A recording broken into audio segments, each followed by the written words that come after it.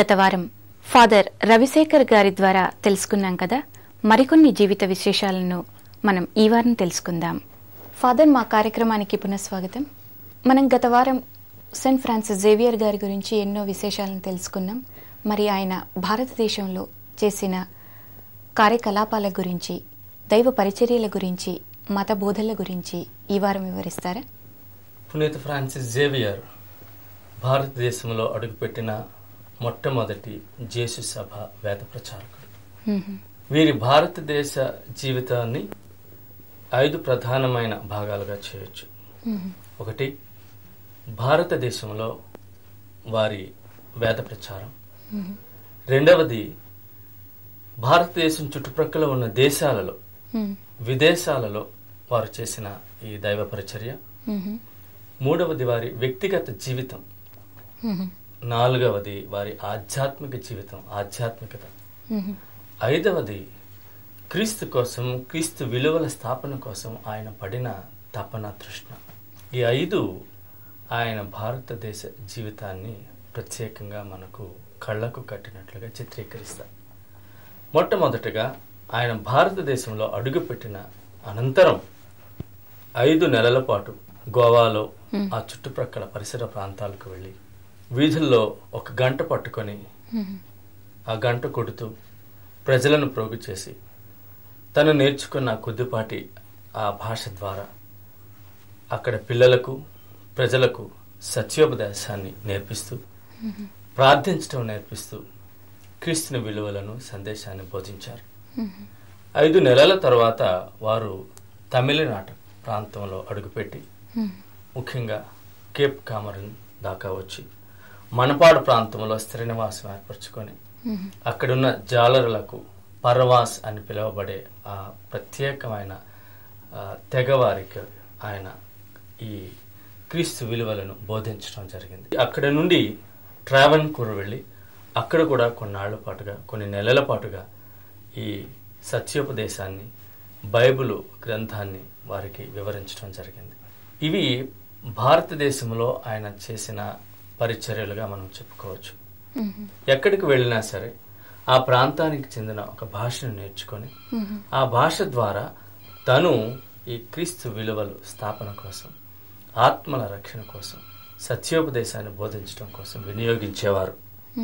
ఇది అయిన వెంటనే వారు వారి దృష్టిని భారతదేశం చుట్టుప్రక్కల ఉన్న దేశాలపై ఆయన దృష్టి సారించడం జరిగింది. భారతదేశంలో వారి దైవ పరిచర్య కొన్నాళ్ళు కొనసాగించిన తర్వాత ఇతర దేశాలకు కూడా నెమ్మదిగా దానిని వ్యాప్తి చేయాలి అన్న భావనతో శ్రీలంక వెళ్ళారు అక్కడి నుంచి మలాకా దేశం వెళ్ళారు అటు నుంచి జపాన్ వెళ్ళారు కడగా చైనా దేశం వరకు కూడా ఆయన ఎన్నో వందల మైళ్ళు సముద్రయానం చేసి ఎన్నో కష్టాలు కోర్చి వెళ్ళటం జరిగింది. ఇక మూడో ముఖ్యమైన ఆయన జీవిత విశేషం ఏమిటంటే వారి వ్యక్తిగత జీవితం. మనం ముందు తెలుసుకున్నాం ఎంతో సుసంపన్నమైన కుటుంబం నుంచి వచ్చిన వ్యక్తి. రాచరికపు రాచరికపు నీడల్లో ఎదిగిన వ్యక్తి.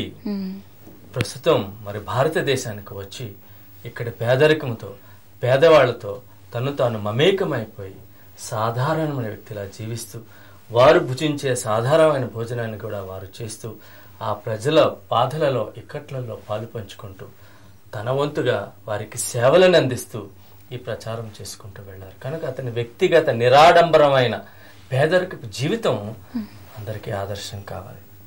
ఇక వారి ఆధ్యాత్మికత అంటారు అది కూడా చాలా ఆదర్శవంతమైన ఆధ్యాత్మికత. దేవుణ్ణి తన జీవితానికి కేంద్రంగా పెట్టుకుని జీవించిన జీవితం అది. క్రీస్తుకు ప్రధానమైన స్థానం ఇచ్చారు. సర్వవేళ సర్వావస్థలందు రోజంతా గ్రామ గ్రామాలు తిరిగి సువార్త వ్యాప్తి చేసి సాయంత్రం అయ్యేటప్పటికీ ఆ ప్రభుని మందసం ముందు మోకరెళ్ళి దివ్య సత్ప్రసాదం ఏట గంటల తరబడి మోకాళ్ళ మీద ఉండి ఆరాధన చేస్తే ఆ క్రీస్తు సన్నిధిలో ఎంతో సమయాన్ని వెళ్ళిపుచ్చేవారని మనకు చాలా మంది పెద్దలు చెప్తారు. కనుక ఆయన వ్యక్తిగతమైన జీవితం క్రీస్తు కోసం అంకితమైన జీవితం క్రీస్తు కోసమే జీవించాలి మరణిస్తే క్రీస్తు కోసమే మరణించాలని ఆ ఆధ్యాత్మిక ఆ జీవితం అనేది నేటికి భవిష్యత్తు తరాలకు కూడా ఎంతో సుమాత్రకు చూపించే జీవితం. మరి చివరిగా ఆయన భారతదేశ యాత్రను ఒక విధంగా ఒక మకుటానికి ఒక అగ్రస్థానానికి తీసుకువెళ్ళింది ఏంటంటే ఆయన ఇంత చేసినా సరే ఇంకా చేయాలి దేవుని కోసం. ఒక దేశం కాదు. శ్రీలంక జపాన్ చైనా మలక. పది సంవత్సరాల ఈ వ్యవధిలో ఒక వ్యక్తి అధునాతమైన రవాణా సదుపాయాలు లేని ఆ కాలంలో ఇన్ని సుదూర ప్రాంతాలు ప్రయాణించి ఇంకా ఇంకా ఇంకా క్రీస్తు కోసం చేయాలని ఆయన హృదయంలో రగిలిన ఆ అగ్ని జ్వాలలనేవి మనం ఎప్పటికీ మర్చిపోకూడదు.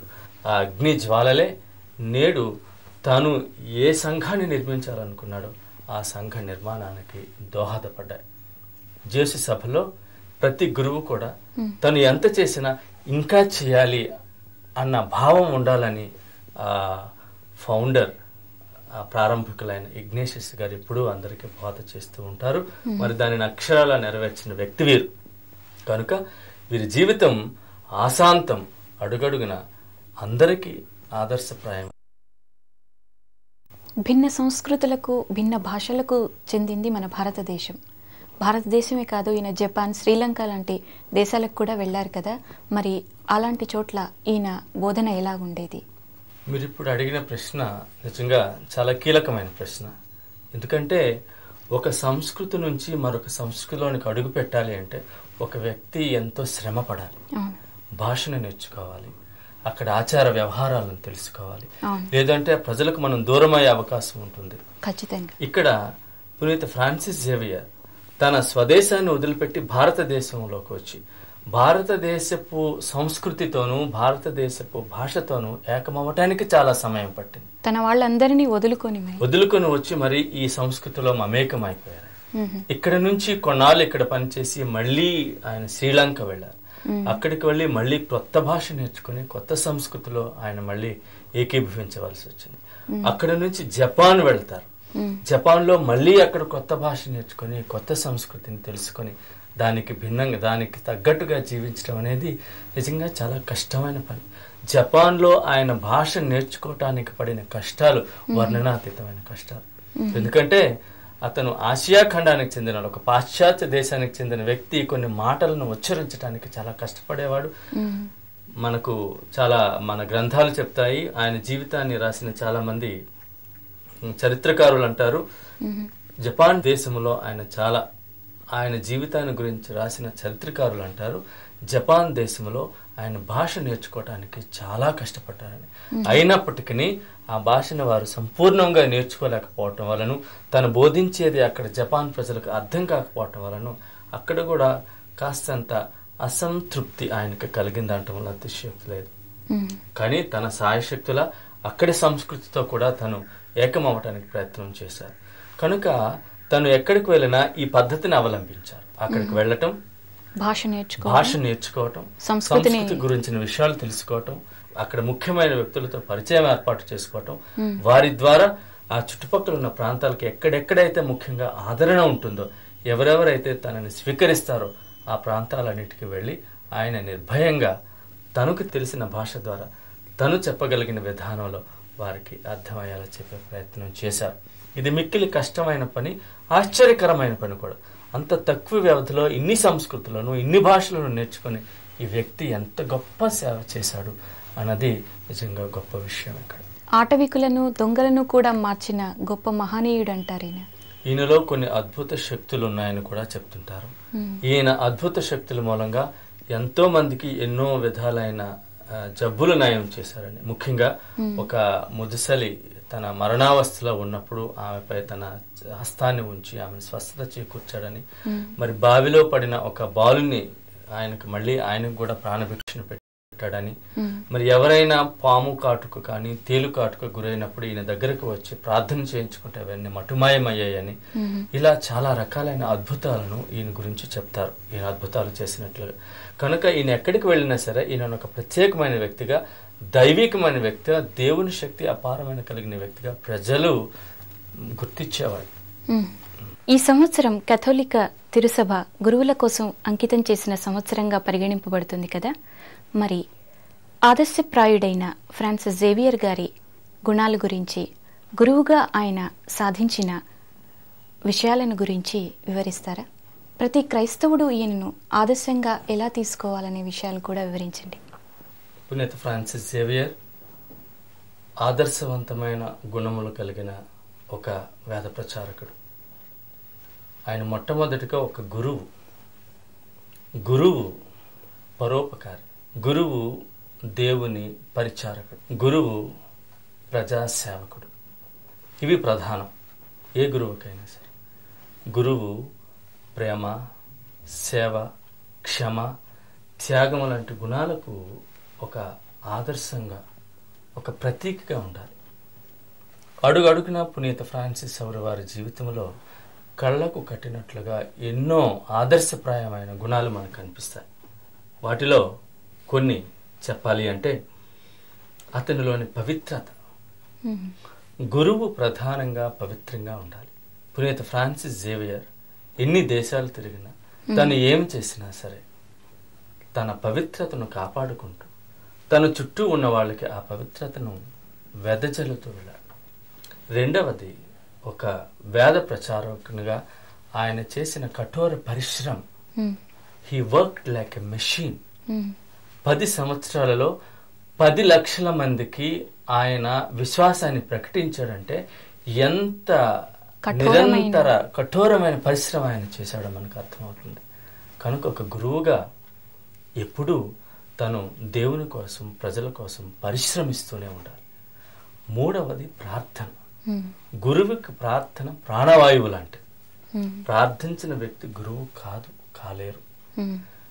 పునీత ఫ్రాన్సిస్ జేవియర్ రోజంతా గ్రామ గ్రామాలకు తిరిగి కాలిబాటన తిరిగి ఎండలో వానలో తిరిగి సాయంత్రం అయ్యేటప్పటికి ఇంటికి చేరుకొని అక్కడ ఆ దివ్యసత్ప్రసాద మందస్సు ఎదుట ఆయన చేసిన ప్రార్థన అన్నది కూడా చాలా ఆదర్శవంతమైన ఒక ప్రత్యేకమైన గుణంగా లక్షణంగా మనం పేర్కోవాలి. అతనిలో ఉన్న నిరాడంబరత కటిక నేలపై పడుకునేవాడంట. సాధారణ ప్రజలు తినే భోజనం తినేవాడు. తనకంటూ ఏ సుఖాన్ని తనకంటూ ఏ ప్రత్యేకమైన ఆశలను కూడా పెట్టుకోకుండా ఆయన జీవించాడు. ఇవన్నీ ఆయన నుంచి గురువులుగా ప్రతి ఒక్కరూ నేర్చుకోవాలి. దేవుని కోసం పిలువబడిన వాళ్ళు దేవుని కోసమే సర్వత్రా జీవించాలి. ప్రతినిత్యం ఆ దేవుని కోసమే వాళ్ళు శ్వాసించాలి. కనుక ఏ విధంగా పునీత ఫ్రాన్సిస్ జేవియర్ తను నమ్మిన విశ్వసించిన ఆ దేవుని కోసం జీవించారన్నది ప్రతి గురువుకి ప్రతి క్రైస్తవునికి ప్రతి ఒక్కరికి ప్రతి విశ్వాసునికి కూడా ఇది ఆదర్శప్రాయమైన జీవితం అని నేను చెప్తున్నాను ఎన్నో కష్టనష్టాలు కోర్చిన వీరి కడపటి జీవితం గురించి ఆయన మరణం గురించి వివరిస్తారా? పునీత ఫ్రాన్సిస్ జేవియర్ తన జపాన్ పర్యటన తర్వాత తన దృష్టిని చైనా దేశం వైపు మరల్చారు. చైనా దేశంలో అడుగు పెట్టడం ఒకప్పుడు దుర్భేద్యమైన పని. ఆ దేశంలో అడుగు పెట్టడానికి ఆయన ఎన్నో విధాల పథకాలను వేశారు ప్రణాళికలను వేసుకున్నారు. ఎంతో మందిని సంప్రదించి కడకు ఆ దేశంలో అడుగు పెట్టడానికి పూనుకొని ప్రయాణమై వెళ్ళారు అతనికి సహాయకులుగా కొందరిని తీసుకుని వెళ్ళారు ఆయనకి సహాయకులుగా కొందరిని తీసుకుని వెళ్ళి ఎంతో వ్యయాన్ని వాళ్ళ చేతిలో కూడా పెట్టడం జరిగింది. వారు చైనా దేశపు మెయిన్ ల్యాండ్ ప్రధాన భూభాగంలోనికి ఫ్రాన్సిస్ జేవిర్ని తీసుకువెడతానని మాటనిచ్చి వారంతా మోసగించటం వల్ల వారు కొన్ని నెలల పాటు ఆ చైనా దేశం దగ్గరలో ఉన్న పద్నాలుగు కిలోమీటర్ల దూరంలో ఉన్న షాంగ్ చువన్ అన్న దీవి వద్ద కడపటి దినాలను గడపవలసి వచ్చింది. అక్కడ ఆయన ఈ ఎండకు వేడికి గాలికి చలికి అన్నిటికీ ఆయన తట్టుకోలేక తీవ్రమైన జ్వరంతో పదిహేను వందల యాభై రెండో సంవత్సరంలో తను చాలిస్తారు. ఇది చాలా విషాదకరమైన విషయం. ఎందుకంటే తను ఎన్నో క్రీస్తు కోసం సాధించాలనుకున్నవి సాధించినప్పటికీ చైనా సాధించాల్సింది ఎంతో. ఇంకా సాధించవలసింది ఎంతో ఉందని తను భావించి చైనాకి వెళ్ళే ఈ సాహసం చేసినప్పుడు అది అర్ధాంతరంగా ముగియటం అనేది ఒక విచారకరమైన విషయం. ఆదర్శప్రాయులకు మరణం లేదంటారు కదా? మరి ఇంత గొప్ప ఆదర్శవంతుని జీవితం మన భారతీయ యువతపై ఏమైనా ప్రభావాన్ని చూపిందా? పునీత్ ఫ్రాన్సిస్ జేవియర్ జీవితం కొన్నిసార్లు మన స్వాతంత్ర సంగ్రామంలో ఎంతో ప్రధానమైన పాత్ర పోషించిన వివేకానందునితో పోల్చవచ్చని ఎప్పుడు నేను అనుకుంటాను. వివేకానందుడు యువతలో నిద్రాణంగా ఉన్న శక్తిని వెలికి తీయటానికి తను భారతదేశ పర్యటన గావించి ఆయన కూడా నిరాడంబర జీవిగా ఒక సన్యాసిగా భారతావని మొత్తం కాశ్మీర్ నుంచి కన్యాకుమారి దాకా ప్రయాణం చేసి ప్రత్యేకంగా యువతతో మాట్లాడి వారు యువతను మేల్కొల్పే ప్రయత్నం చేశారు. ఆ మేల్కొల్పు అన్నది కూడా ప్రత్యేకంగా ఫ్రాన్సిస్ జేవియర్లో మనకు కనిపించే విషయం. ఆయనలో ఉన్న ఆ తపన ఆయనలో ఉన్న ఆ తృష్ణ ఆ జీల్ అంటారు. That zeal is tremendous in him అది ఎప్పుడు కనకన కన మండే అగ్ని జ్వాలల్లా ఆయనలో కనిపించాయి అందుకే ఇప్పుడు కూడా ఫ్రాన్సిస్ జేవియర్ చిత్రపటాన్ని గీచేటప్పుడు ఆయన హృదయంలో ఏవో మంటలు రగులుతున్నట్టుగా గీస్తారు. ఆరని మంటలతో కడపటి దాకా ఒక అమరజీవిగా ప్రేమాగ్ని జ్వాలలు. ప్రేమాగ్ని జ్వాలలతో నిండిన వ్యక్తి ఫ్రాన్సిస్ జేవియర్ కనుక యువత ఎప్పుడూ ఈ విధమైన చైతన్యం కలిగి ఉండాలి.